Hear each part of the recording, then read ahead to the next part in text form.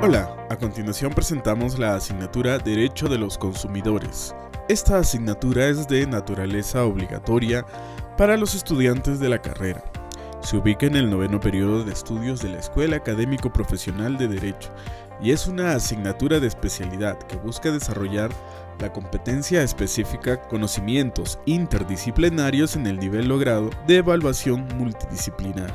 La asignatura contiene el estudio del derecho del consumo, aplicar sus categorías y principios, así como el análisis de la jurisprudencia relevante, teniendo en consideración el impacto del uso de tecnologías de la información y comunicación en la realidad social y económica de nuestro país. Su enfoque tiene una naturaleza crítica y reflexiva sobre el desarrollo de esta disciplina en nuestro país y los instrumentos que la legislación y la jurisprudencia ofrecen para la debida protección de los derechos e intereses de los consumidores comprendiendo cabalmente la importancia del rol asumido por el Instituto Nacional de Defensa de la Competencia y de la protección de la propiedad intelectual, así como de los organismos reguladores.